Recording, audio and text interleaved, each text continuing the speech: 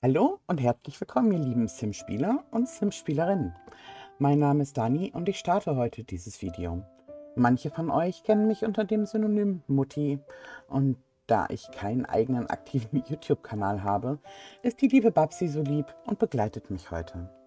Wir planen mit der weltbesten Sims 3 Community schon seit Sommer, genau seit dem 6.7., den diesjährigen Adventskalender. Diese Zeit haben wir allerdings auch gebraucht, denn wir haben viel überlegt, abgestimmt, Ideen gefunden und wieder verworfen, neue Traditionen ins Leben gerufen, alte wiederbelebt und sind uns Gott sei Dank schnell einig geworden, womit wir den Kalender, aber vor allem das heutige Türchen füllen möchten. So wie letztes Jahr mit dem letzten Türchen, mit dem 24. Türchen, das von der lieben Katha AK Immortality kam, haben wir auch dieses Jahr wieder eine Welt erstellt. Ich habe versucht, für euch im Create World Tool zu zaubern und wurde dabei wieder von all meinen Adventskalender-Mädels plus Andy, Kjeld und Auri tatkräftig unterstützt. Euch danke ich dafür, denn eure Häuser und Grundstücke machen meine Welt zu etwas ganz Besonderem. Ein besonderer Dank geht dabei an die liebe Norn vom Sims Zoo, die mich tatkräftig unterstützt hat und mir manche Funktionen des Create a World Tools nochmal ein bisschen näher gebracht hat, damit es für euch wunderschön wird. Allerdings gibt es dieses Jahr eine kleine Änderung, von der ich euch gerne vor dem offiziellen Türchen in dieser Ansprache erzählen möchte. Diese wird nachträglich in das Video geschnitten und ich hoffe, dass das alles funktioniert. Um die Verteilung von sogenanntem Bad CC, also schlechtem oder kaputten Custom Content, zu verhindern, möchten wir die Welt dieses Jahr ausschließlich im Package-Dateiformat zur Verfügung stellen. Dieses Dateiformat wird nicht über den Launcher installiert, sondern direkt ins Installationsverzeichnis des Spiels kopiert. Damit ihr damit keine Schwierigkeiten habt, schreibt die liebe Babsi das bestimmt auch nochmal in die Infobox. Allerdings wäre der komplette Part C Program Files x86, Origin Games, The Sims 3, Game Data, Shared Non-Packaged Worlds. Wie gesagt, die Babsi ist bestimmt so lieb und schreibt diesen Pfad in die Infobox, dass ähm, ihr euch das hier nicht nochmal anhören müsst, um den korrekten Pfad zu finden. Ähm, und ich möchte mich an dieser Stelle auch nochmal ganz herzlich bedanken bei allen Teilnehmern des diesjährigen Adventskalenders für dieses tolle Projekt. Es hat mir wieder wahnsinnig viel Spaß gemacht und ich bin so froh, dass wir alle ein Teil der besten Community der Welt sind.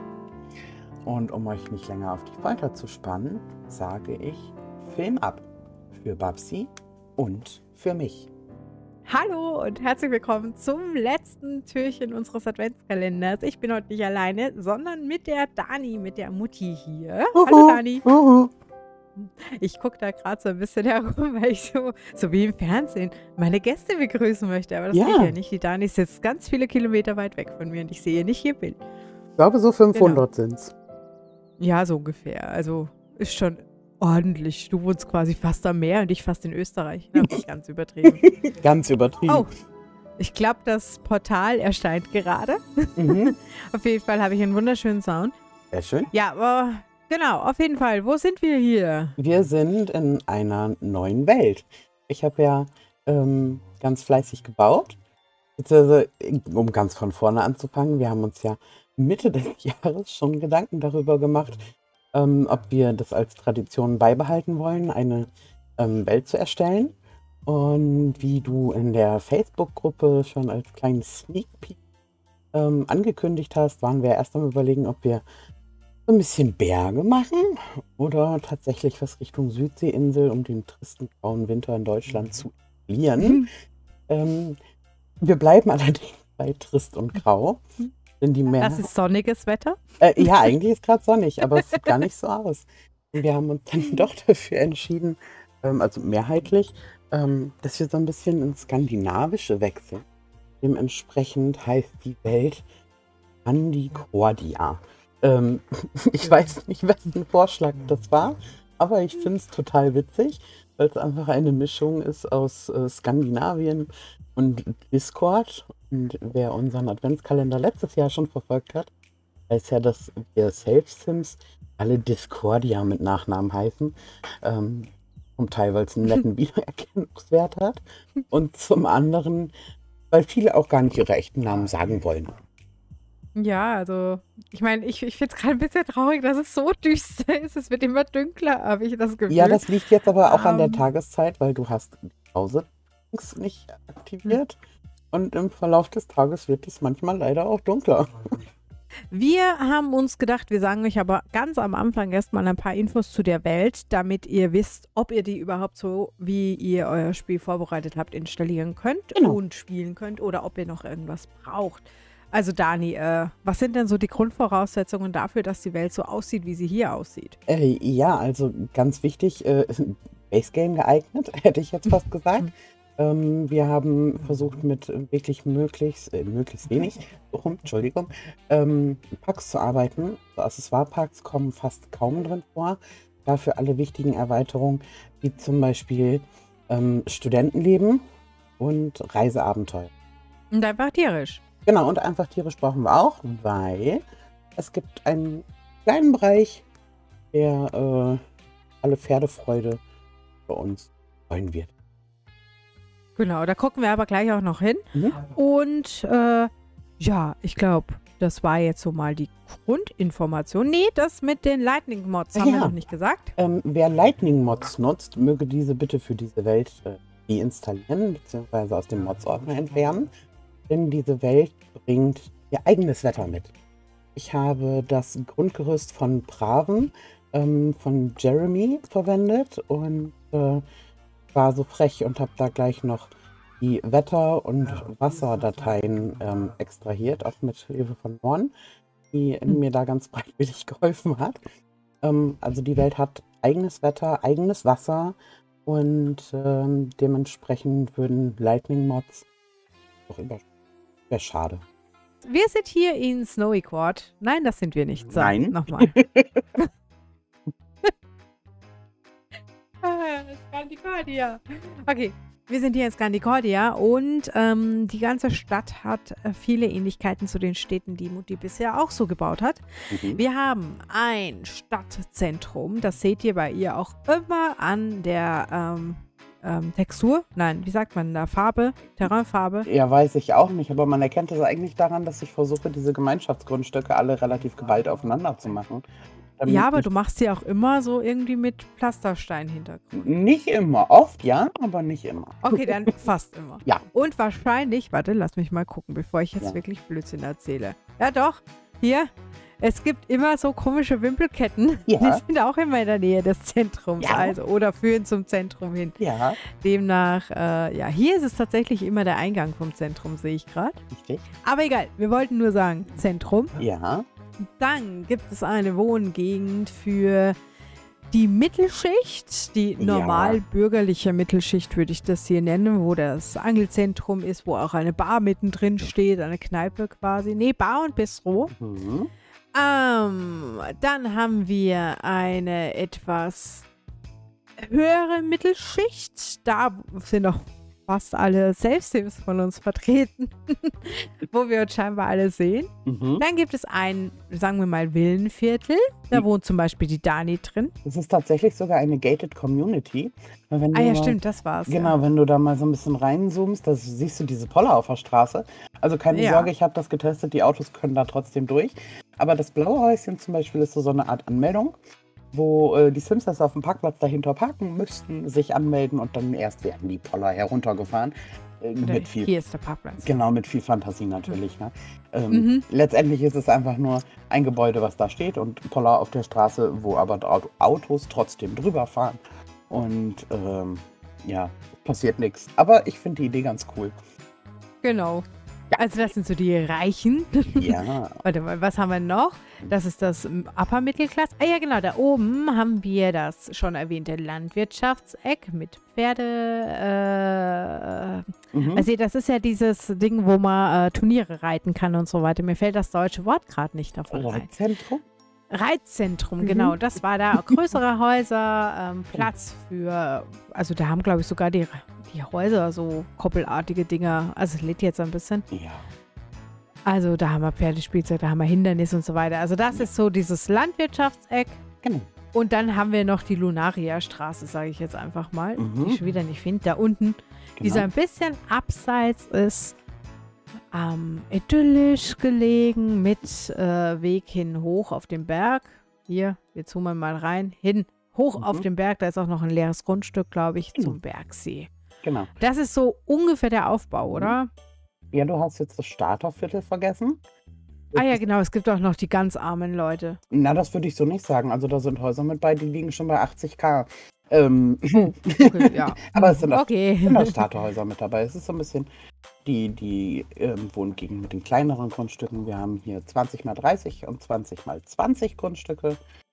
Ähm, Ja, genau, mit dem Gemeinschaftsgarten. Genau.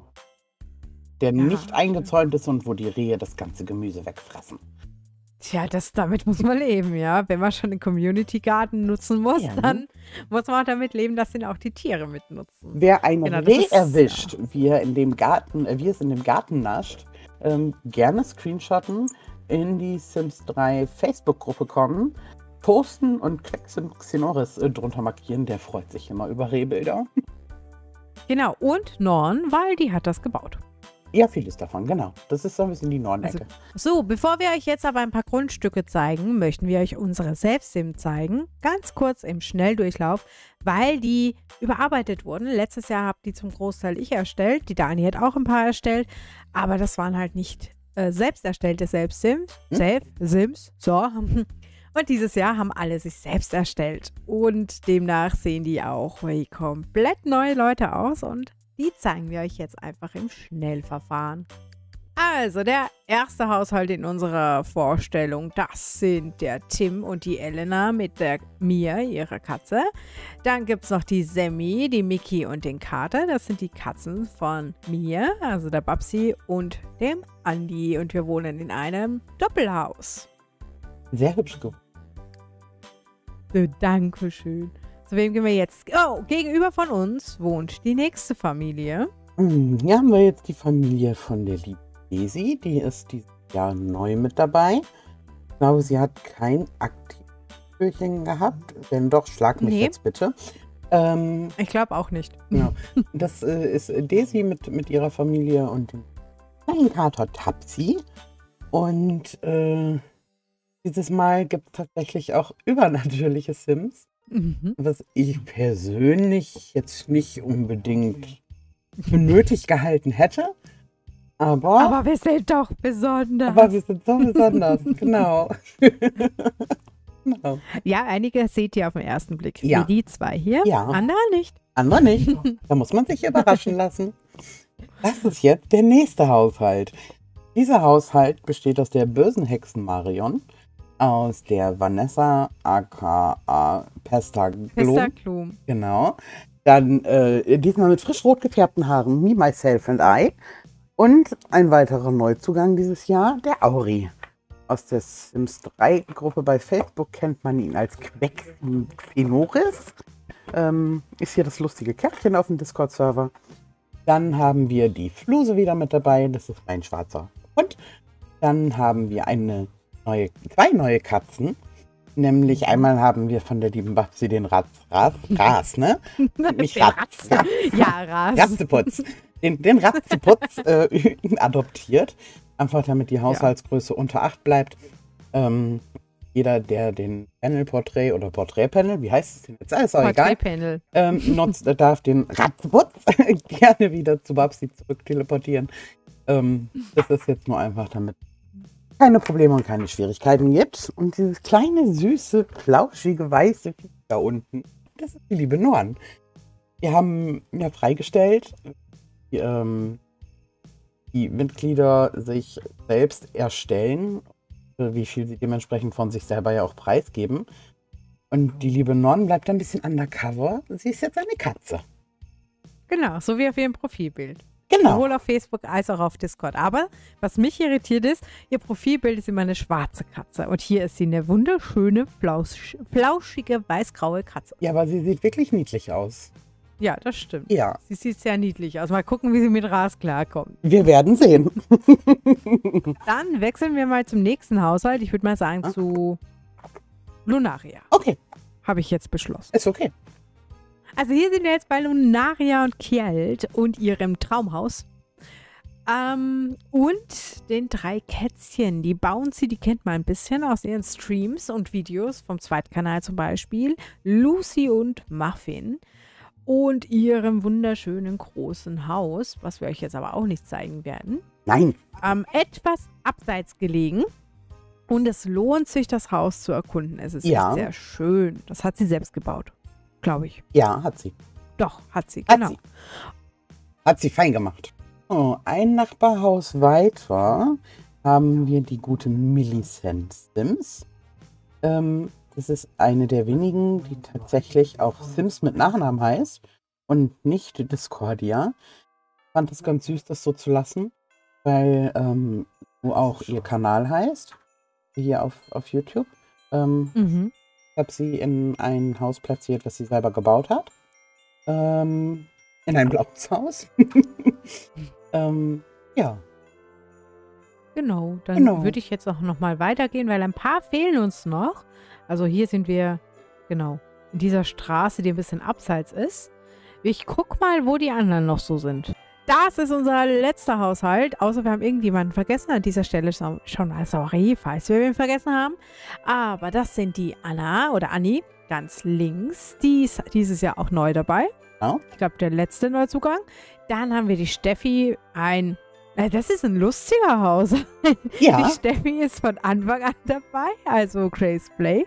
Und ganz rechts die Caro. Caro Mel, nein, Caro Binks heißt sie, glaube ich, auf YouTube. ja, ich glaube. Ähm, die ist das zweite Mal dabei. Also wir haben jetzt wirklich 3, 2, 1 in einem Haushalt. Ja. Und ähm, ja, auch eine ganz andere Wohngegend als bisher. Mhm. Die anderen Häuser hier in der Wohngegend sind noch frei. Also die könnt ihr noch als direkten Nachbarn euch aneignen für eigene Sims. Jawohl. Genau, und jetzt wollen wir euch ein paar ausgewählte Grundstücke zeigen. Natürlich äh, sind alle super toll und es haben viele dran mitgebaut, aber ich glaube, es gibt so ein paar Special-Dinger, die wir euch unbedingt zeigen wollen. Auf jeden Fall. Ich glaube, am Anfang fangen wir mal mit dem ganz, ganz besonderen Ding an. Ja. Was man nur, upsie, in dieser Nachbarschaft machen kann. Nein, das stimmt nicht. Man kann es in anderen Nachbarschaften auch machen. Das geht Aber auch in anderen Nachbarschaften. in Snowy Court ging das noch nicht. Nein. Ich such's mal. Hier. Ja. So, da. Erzähl mal, Dani, was du da gemacht hast. Das- Weil das hast du gebaut. Genau, das sieht jetzt erstmal ziemlich nichtssagend aus. Wenn man so, Das so ein stimmt. bisschen in die rechte hintere Ecke schaut, dann könnte man es vielleicht schon erraten. Ich habe mir ein bisschen Inspiration von der lieben Kappa geholt. Die hat ja äh, Strange Town, also Merkwürdighausen, ähm, für Sims 3 äh, spielbar erstellt und hat da natürlich auch eine Universität platziert. Ähm, ich habe mir gedacht, das passt hier auch ganz gut rein. Sind ja mit Sicherheit einige Sims da, die auch einen etwas höheren Abschluss erreichen wollen und habe mir dementsprechend gedacht, es wäre ganz äh, nett, wenn wir auch eine kleine Universität hätten. Tada! Genau. Und ich würde sagen, an diesem Beispiel können wir auch gleich erklären, wie das Ganze funktioniert. Genau. Ähm, es gibt nämlich unsichtbare Rabbit Hole Rugs. Wo sind die denn hier? Genau, also drei siehst du hier vorne jetzt schon. Ähm, ich gehe mal davon aus, da du deine Mods deaktiviert hast, liegen da jetzt tatsächlich einfach Teppiche. Ach so, ja gut. äh, Ähm, mein Spiel ist aktuell nicht so ganz Genau. spielbar. Deswegen habe ich alle Mods rausgeschmissen und dann auch die Teppiche. Stimmt. Wir haben es recht. wir haben's ja so wie bei Snowcourt gemacht. Einfach damit das Stadtbild ähm, passend aussieht, haben wir keine Rabbit Hole Gebäude ähm, benutzt, die vom Spiel vorgefertigt waren, sondern haben eigene gebaut, ähm, die über diese Teppiche ähm, ja, zugänglich sind, hätte ich jetzt beinahe gesagt. Also viel von den Häusern ist tatsächlich einfach nur Deko und nicht Mhm. betretbar. Hier ist das ein bisschen anders. Ähm, man kann die Räume tatsächlich betreten und es gibt auch allerhand äh, zu sehen. Allerdings äh, funktionieren ähm, diese Teppiche dann eben als diese Rabbit Hole Gebäude, wo die Sims reingehen und einfach verschwinden. Genau, ich schaue jetzt auch nur absichtlich so ein bisschen von der Ferne drauf, weil das Genaue könnt ihr ja selber erkunden. Hm. Ähm, aber ihr seht, die sind eingerichtet, die sind auch nicht ausgegraut oder irgendwas, Hm. da könnt ihr wirklich reingehen. Und Hm. in eurem Spiel sieht man die Teppiche dann auch nicht. Ihr könnt das am besten dann über die Stadt äh, betreten. Das funktioniert bei mir jetzt. Na, wobei, das Leider funktioniert sogar. Also ich sehe schon, dass es die Universität sein soll, aber ich kann natürlich die einzelnen Gebäude und so weiter nicht anwählen. Aber das ist halt jetzt so. Ja, Das, das ist hier im Stadtkern übrigens auch so Mhm. bei mir. Bei euch sind das jetzt dann alles die richtigen Rabbit Holes. Das ist mir vorher leider nicht aufgefallen. Ja, ist aber nicht schlimm, weil die, die Genau. Snowy Court kennen, wissen ja schon, wie das mit den Teppichen funktioniert. Und äh, Genau. für den Fall, dass Fragen sind, ist ja auch mindestens einer von uns immer irgendwie im Discord anwesend. Oder man kann uns da anschreiben. Ähm, da müssten dann eigentlich auf der Kartenansicht, also wenn man M drückt, ähm, auch noch diese roten Buttons auftauchen. das Sowas zum wie hier da- zum Beispiel. Genau. Wie das da der Fall ist. Und darüber kann man sich ganz normal in der Universität einschreiben und ähm, die Kurse besuchen. Leider gibt es, genau wie bei Kata, keine Kommilitonen. Ähm, aber es werden garantiert immer mal wieder Sims da rumlaufen. Und dann tut man halt so, als ob. Genau. Hm. Gut, ich habe mir jetzt gedacht, ich würde gerne noch das Basiscamp mir anschauen, weil das was Mhm. ganz Besonderes ist. Äh, Natürlich auch da, die, äh, wenn da irgendwelche Rucks oder so wären, würde man die nicht sehen, aber ich glaube, hier gibt es ja keine. Teppiche. Nein, hier gibt es tatsächlich keine Rucks. Ähm, was es allerdings gibt, ist die Abenteuertafel. Ich weiß nicht, ob Moment, es hier. Genau.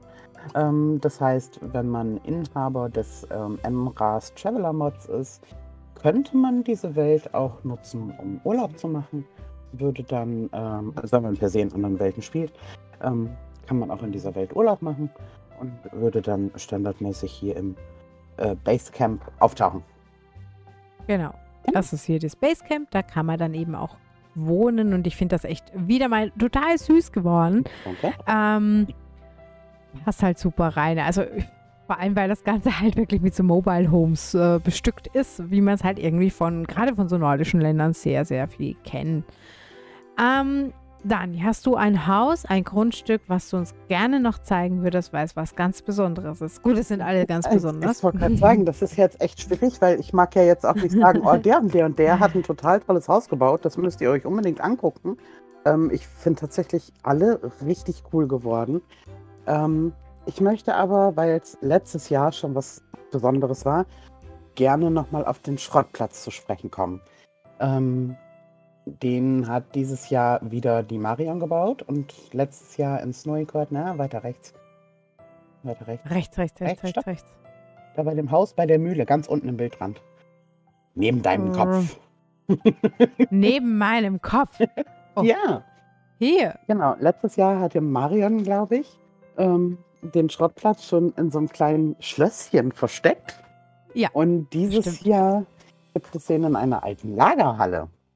Und ich finde es mega geworden, gerade weil sie einen tollen Platz dafür ausgesucht hat, mit dieser Ruine da ähm, rechts daneben.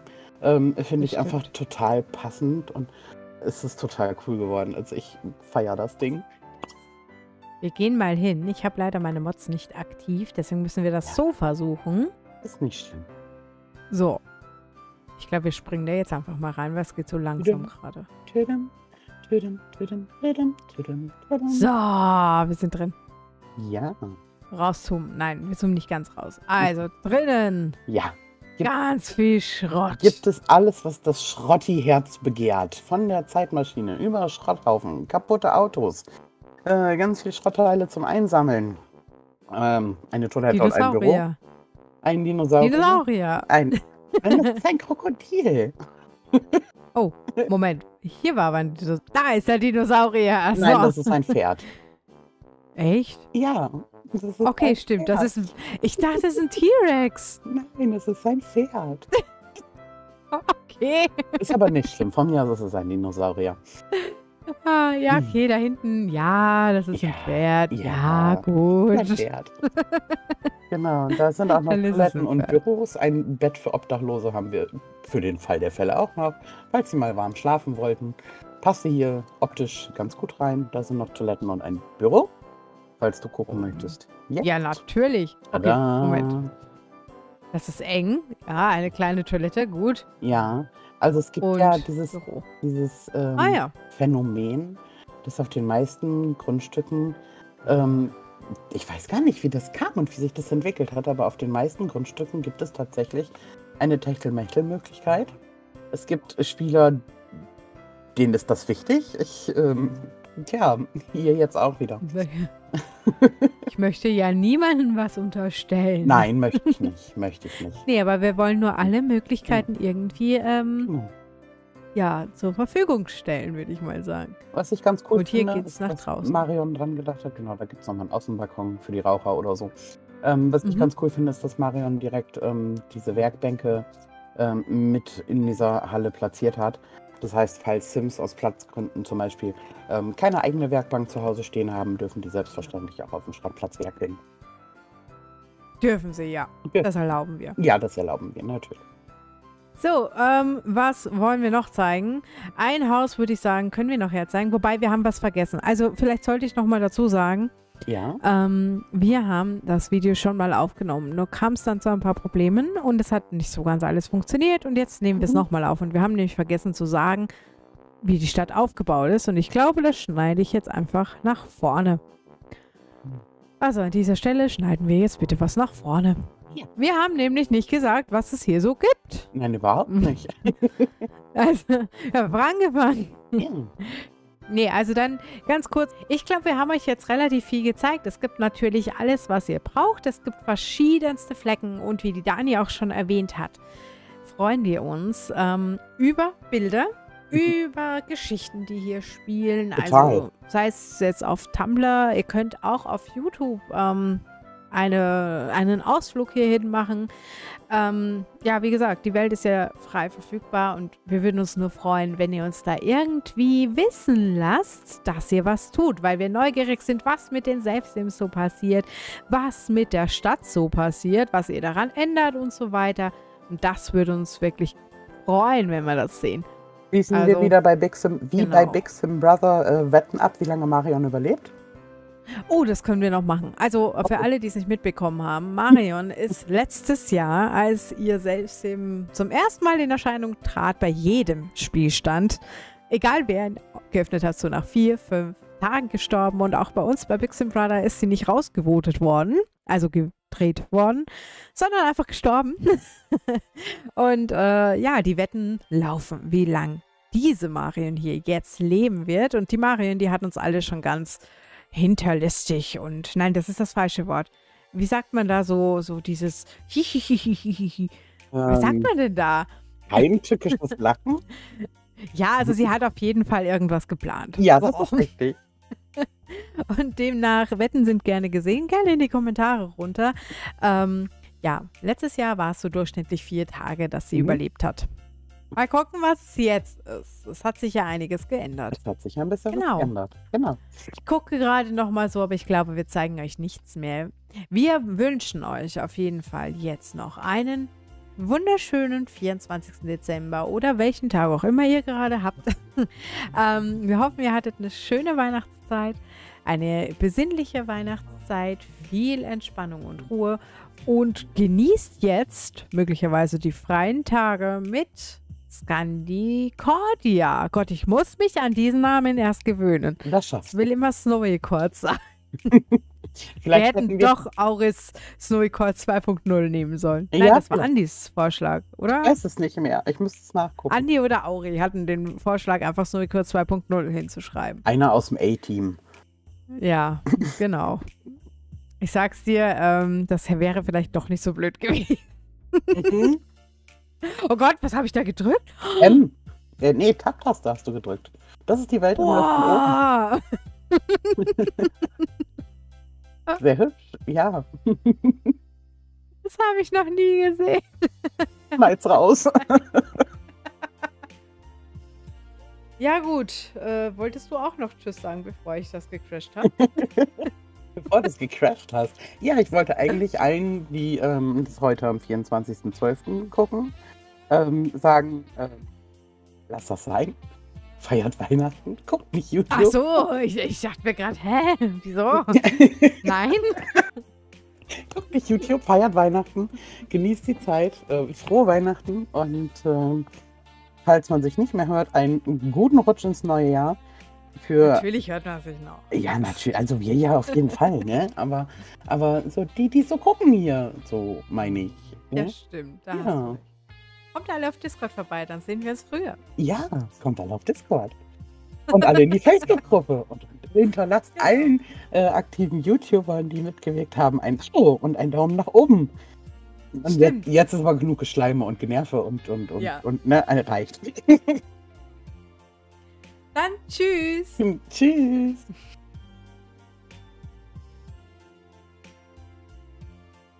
Du hast gedrückt. Hallo, meine Lieben. Was? Entschuldigung.